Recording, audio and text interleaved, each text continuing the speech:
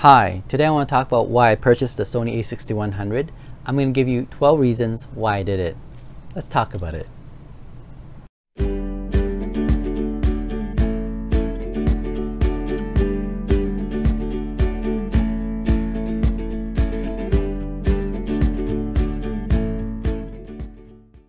Okay, so here it is, the Sony a6100. Now the look and feel of this camera is very similar to the a6000 but don't let the look fool you because there's a lot more features in this camera than the a6000. In fact, I'm, I'm going to give you 12 reasons why I actually purchased this camera. Number one, of course, is the price. Now originally when Sony came out with this uh, a6100, it was about 1000 Canadian dollars plus tax. I thought that was a little bit too much. So I, you know, waited. So there was an opportunity that came about.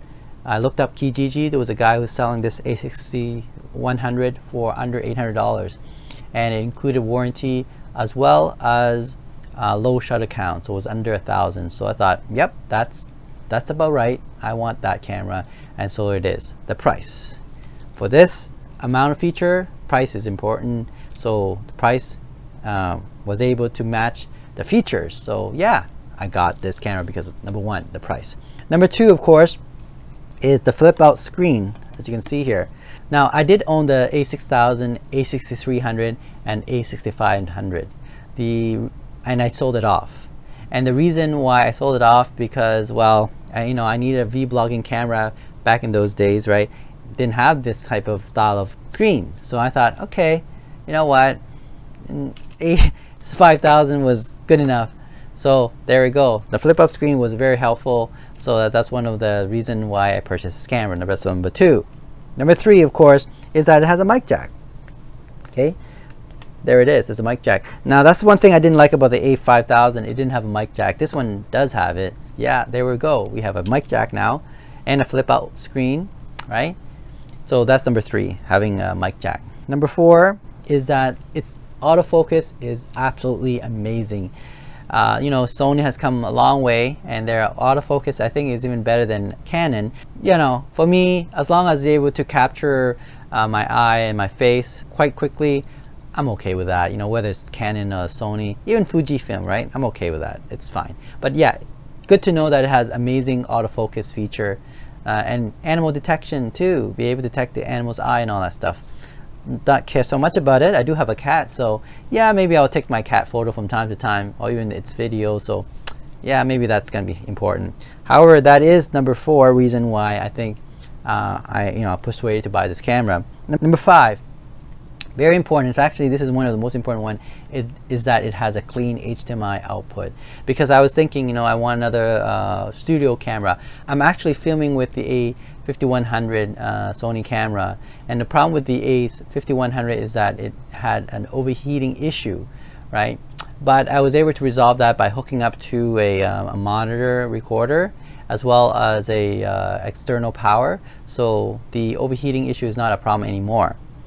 But I did want a feature in a newer camera and that is a clean HDMI output. I think the the Sony a6000 has that as well. So the a6100 also has the clean HDMI output. Sup surprisingly, the Canon uh, M50 does not. I think they have something recently that's like, yes, it has clean HDMI, but the it's not a 1080p format. So if you're gonna use it as a studio camera um, and you want clean HDMI, I think the Sony uh, cameras does have that feature and you know in all their 6000 series, which is great. And even the A5100 uh, has that as well.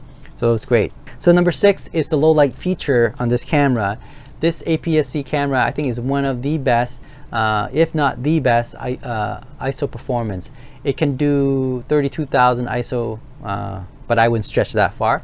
I think about uh, 12,800 ISO is, is pretty clean on this camera.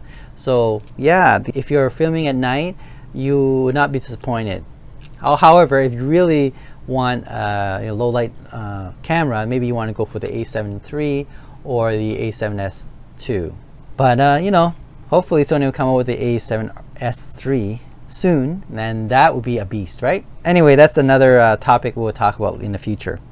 Number seven, yes, the unlimited recording. This camera now can do unlimited recording. Uh, the Sony um, previous generation, like the A6000, the A5100, the A5000, the A63 or A6500, they only can do up to 30 minutes. But I think recently Sony A6100, A6400, and even the A6600 all can do uh, unlimited recording, which is amazing because that means you don't have to worry about, oh no, it's gonna run out in 30 minutes and then you know you gotta press it again.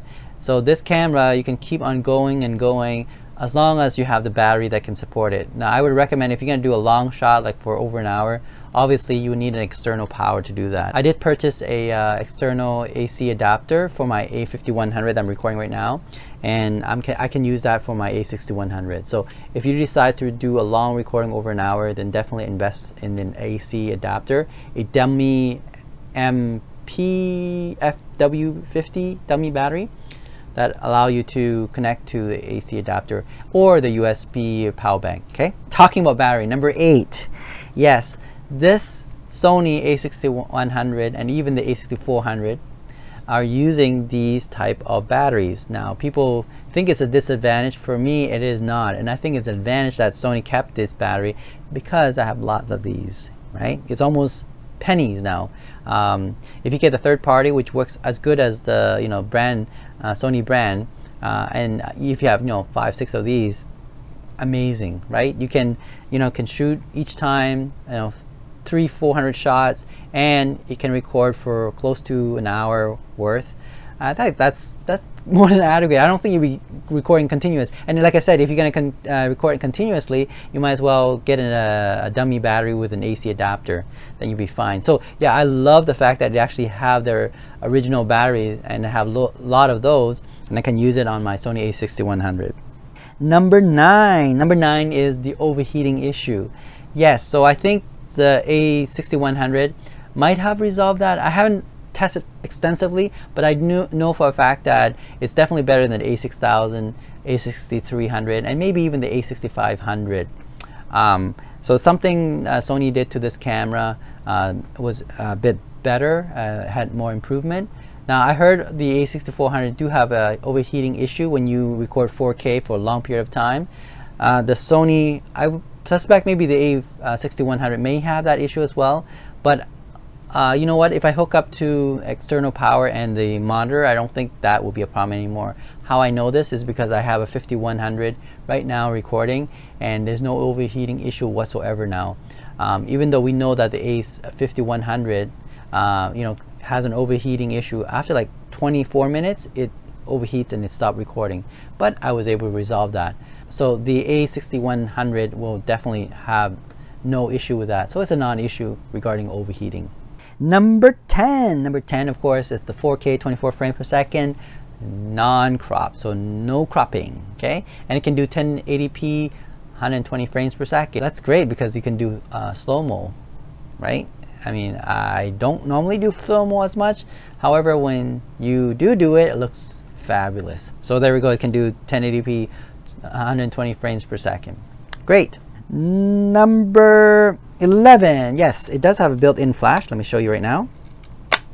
There we go. Now, it's not the best quality of flash, but at least it's there, right? For example, if you're taking a picture in the dark and, you know, you don't want to increase your ISO too much, you press this little button here and the flash comes up and you can take it with the flash and you don't have to stretch your ISO too high. Well, then you'll get the flash look.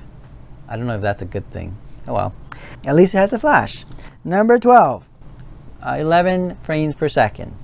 Yes, um, I don't know that's important for people. For me, uh, it's okay. I mean, I don't really take 11 frames per second uh, that often. Um, but because it has a fast autofocus, 11 frames per second do come in handy when you're, uh, you know, taking a picture of fast-moving objects, especially when you're taking pictures of your kids running around. You know, 11 frames per second with amazing autofocus is, yeah, amazing.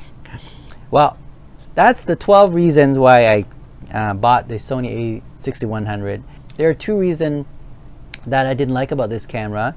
Um, now, probably there are a lot more. However, there are two that I was disappointed with Sony. And so number one, of course, is that this thing can only do 1 over 4000 shutter speed, mechanical shutter speed.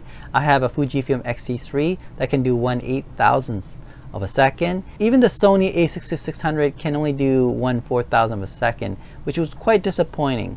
You know, the Fujifilm can do one eight thousand of a second, and if you set that to electronic shutter, it's one thirty-two thousand of a second, which ah, that's incredible. So that's when I, you know, I was disappointed with Sony that they only limit it to 1 over 4000.